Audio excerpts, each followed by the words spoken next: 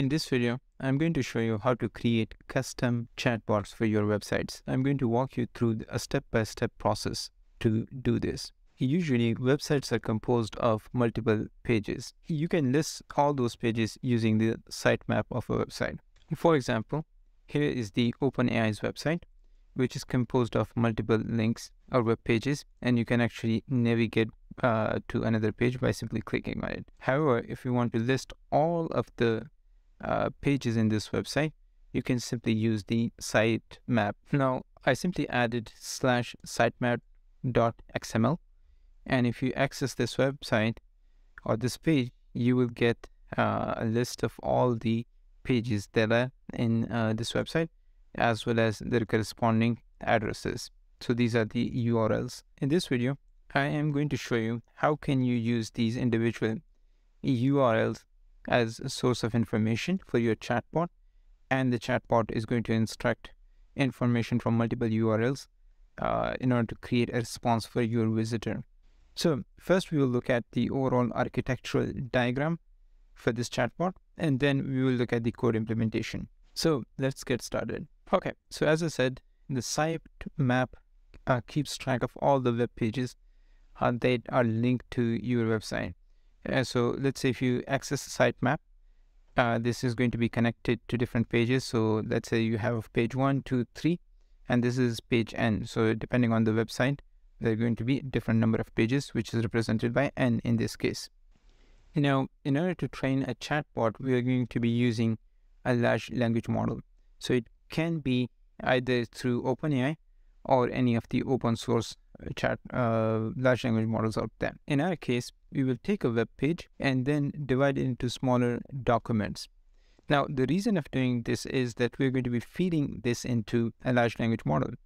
And the current large language models that we have, they have a finite context length. That means it can process only a small fixed amount of text. So because of that, we are converting each page into several documents. So for example, page one is converted to uh, n different documents, right?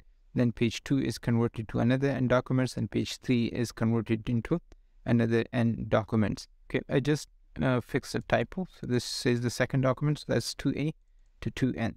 Now, when I'm going to show you the code, you're going to see something called chunk size. So this is basically uh, how many parts or documents we create. And each document is going to be a specific length that is going to be defined by the chunk size. Next, we convert we need to convert our documents into embeddings. Now you may ask, what is an embedding? Now, in order to explain the concept of embedding, suppose that each of the documents that we just created uh, has a chunk size of 1000 tokens. Now, embeddings are used to compress this into smaller vectors containing numerical values. So by using embeddings, you might be able to convert these thousand tokens into much smaller vectors. For example, it's going to be float numbers, so it might look like uh, something like probably this, right? And let's say uh, using an embedding vector, we might be able to reduce it into a vector of size 3. This is just an example. And the beauty of embeddings is that comparison between different documents or your query is actually a lot easier in the embedding space than the original uh, text or, or token space. Now, here you see that we converted each one of the documents into an, uh, its corresponding embeddings, right? And then we simply store all these embeddings into a semantic index, and that becomes our knowledge base. So this is basically all the knowledge that you have on your website. Uh, in this specific case, we are going to be looking at FAISS index store. So FAISS is a vector store created by uh, Facebook Research. It is a library for efficient similarity search and clustering of dense vectors. Now, FAISS is not the only option.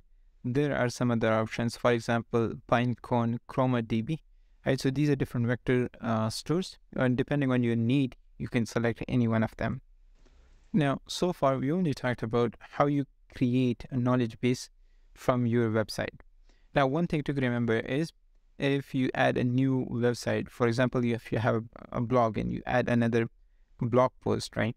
All you need to do is simply compute uh, embeddings for uh, this new blog post and append it to your uh, knowledge base. You don't really need to do uh, redo it for everything else. Okay, so we know how to create a knowledge base, but what happens if a user is interacting with a chatbot, right?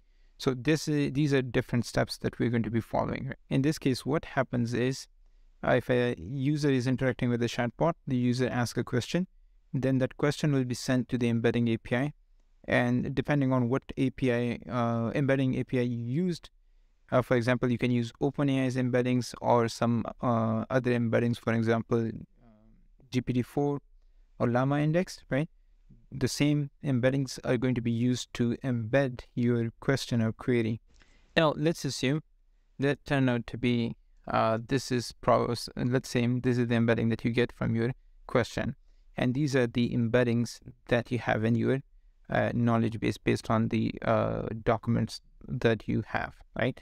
Now, next step is to do a semantic search or similarity search.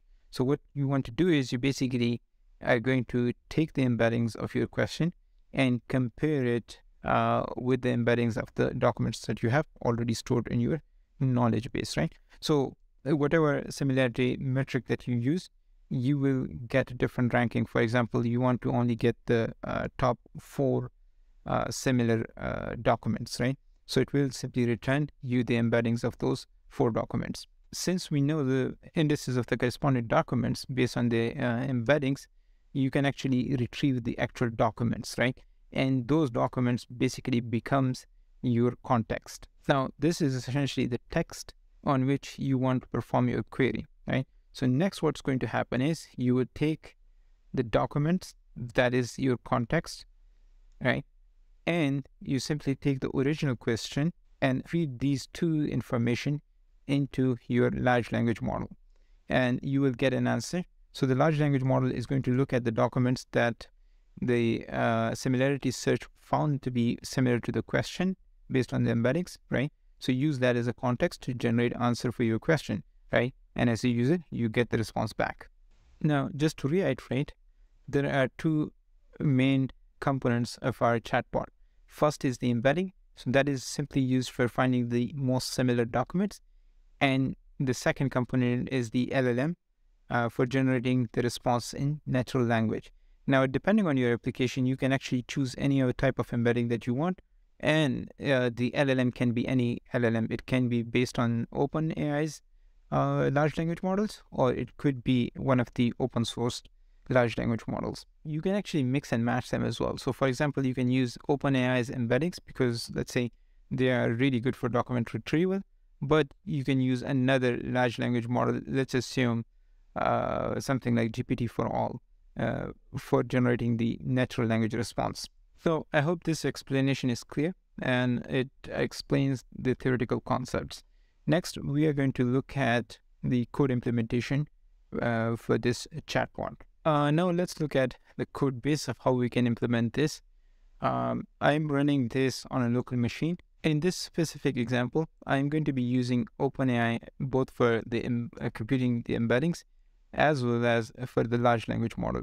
However, I have a detailed video on how to do this uh, in uh, using open source tools. I'm going to put a link to that video as well as uh, I'm going to be creating a completely new video on uh, using GPT4All as your language model in Llama and this is as uh, embeddings. So keep an eye out for that video. In the first block, we are simply installing the required packages. Uh, in this case, I'm using, the FAISS uh, vector store, so, so the CPU version, LangChain, and OpenAI. Next, you want to set your OpenAI key. Uh, you can find this in your own account. All right, now in order to get your uh, OpenAI API key, simply go to your account there is this section of uh, API keys. Sim then simply click create a new API key, give it a name, then create the API key and just copy that key. Next, you want to get a list of URLs, right? If you have your own website, you can use the website sitemap uh, to get a list of all the URLs. In this case, I'm manually providing a list of three different URLs. Uh, this is just for uh, test purposes, so I don't really want to go uh, and scrap all the pages on a website. I went to uh, the announcement of three large language models. So uh, one is the MPT-7B, the other one is the Stable LM, and the last one is uh, Vicuña, right? So I actually went to these pages, copy those links here. This is going to be essentially the database that I want to uh, interact with. For example, here is the blog post uh, that was released when they were announcing Vicuña, right? And similarly, there are blog posts for uh, Mosaic ML, MPT 7B uh, models, as well as for StableLM. Now, the reason I chose different website was I want to also show you how you can uh, retrieve the source of information uh, from your model. Next, you want to read data from uh, these URLs, right? So for that, we are going to be using the unstructured URL, URL loader uh, from document loaders in LangChain, right? So what you need to do is you simply need to pass the list of URLs uh, to your unstructured uh, URL loader and then uh, call the load function on your loader. This will give you all the data uh, comprised uh, in your URLs, right? So for example, here I looked at it and, these are essentially three different web pages, right? So for each web page, you have a different loader and this shows like the whole text contained in each one of these web pages. Based on our architecture diagram, so far we are just on this step two, right? So assuming you have a site map or like a list of URLs, we just got here. Next, we need to divide each of these web pages into smaller documents so that we can feed this into uh, our large language model as well as the embedding uh, computation model. So for that, we're going to be using the uh, character text splitter from text splitter in LangChain, right? Now, what is going on here? And I want to explain the design choices here. So first and foremost, we want to divide each one of the documents or web pages into a token size of 1000. Now, roughly speaking, think of a token as a word. So first thousand words into one uh, chunk. Then we are defining an overlap of 200 tokens. Now, there are cases in which overlap is very important to have. For example, if you are conveying an idea in multiple sentences, the and the last sentence is dependent on, let's say, the previous sentences, right? If you simply do a normal chunking without overlap, and the last couple of sentences end up in the separate document, then in that case, it may not be conveying the information correctly. That's why you need to have an overlap so that there is continuity of information. So in cases where you have temporal dependence of sentences or sequences, you want to use an overlap. In the cases in which there's no temporal dependence, you can uh, ignore overlaps.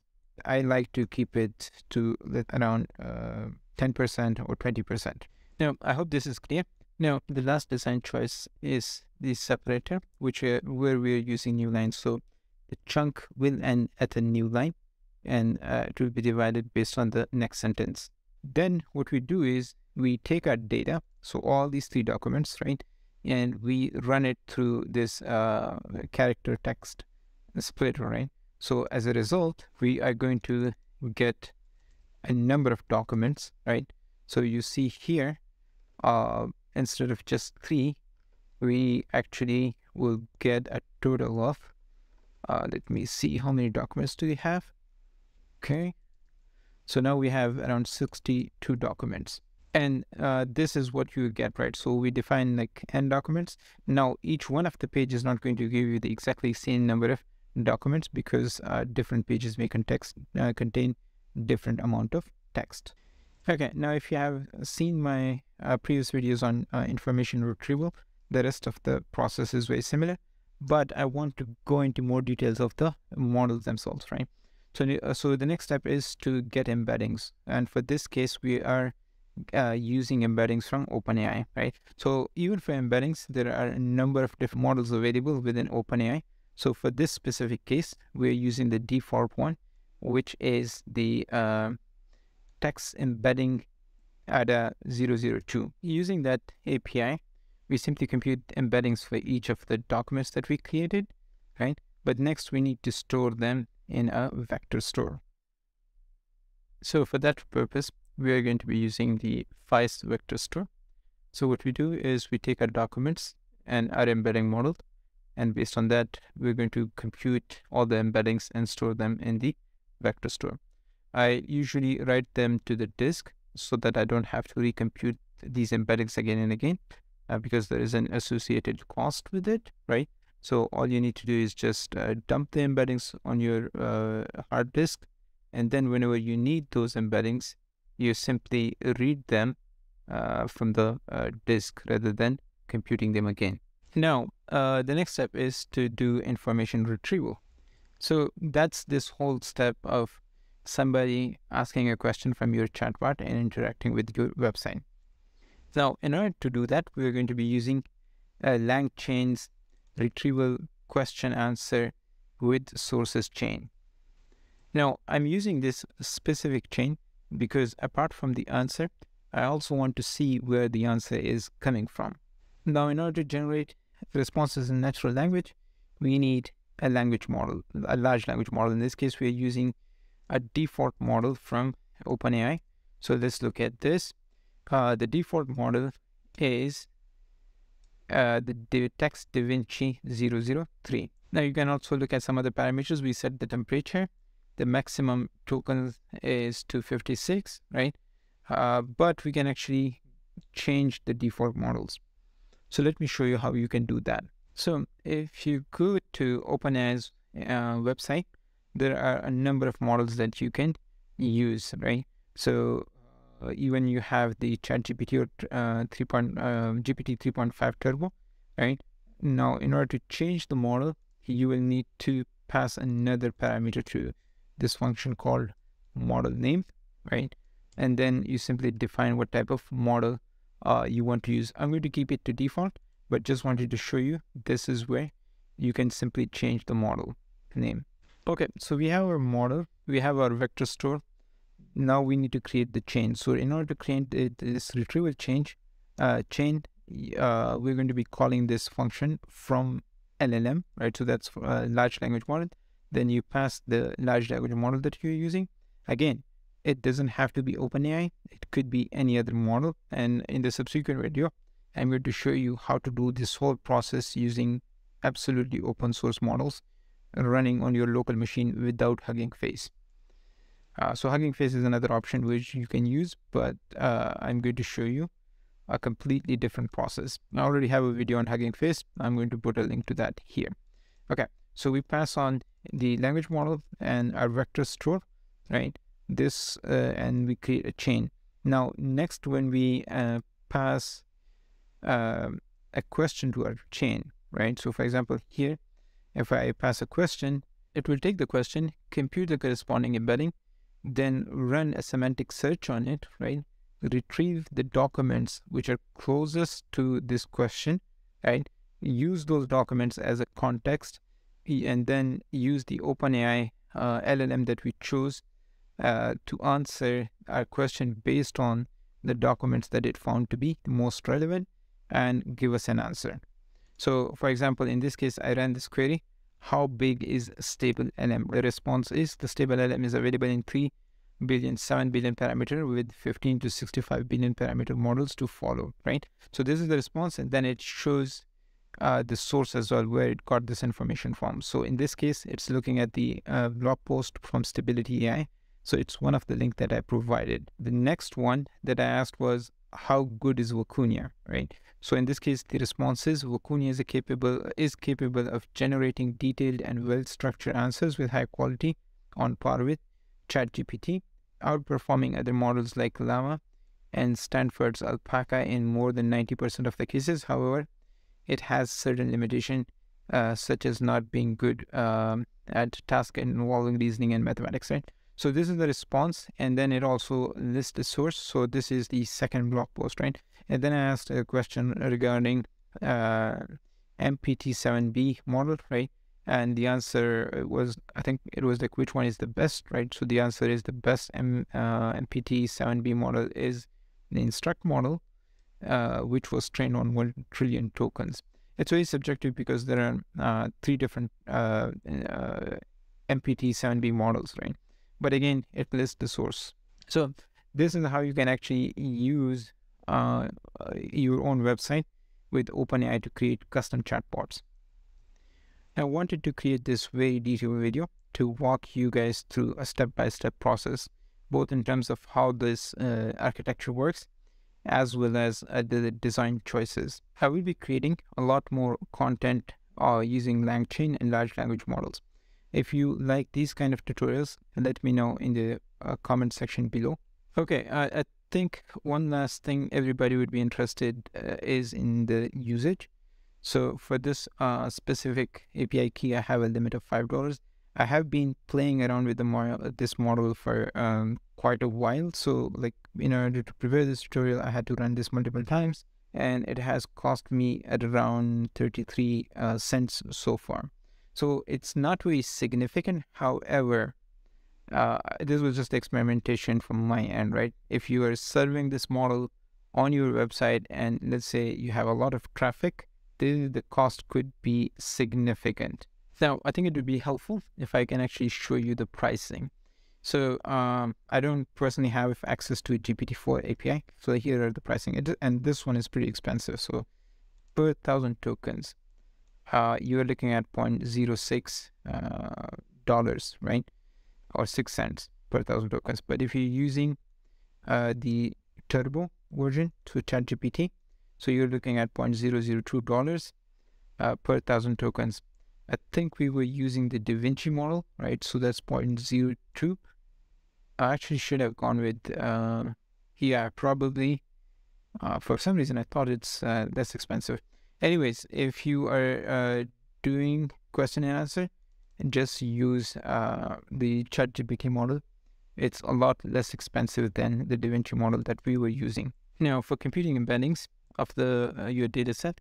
So uh, the current uh, pricing is here. That's that's actually not bad at all, right? So what I would recommend is you can uh, potentially use embeddings from OpenAI, and then you can run your own uh, large language model, such as GPT-4All or even Vicuña, right, to create natural language responses. So you might be able to reduce these costs. I hope uh, this video was helpful. Now, if you have a similar project uh, anything related to large language models uh, and would like an expert opinion, you can actually reach out to me uh, through my email. As always, if you have any questions, put them in the comments. Uh, I'll try my best to respond to them. If you guys want me to create content on a specific topic, uh, also don't forget to reach out. I would love to do that. Hope you like this video. Thanks for watching. See you in the next one.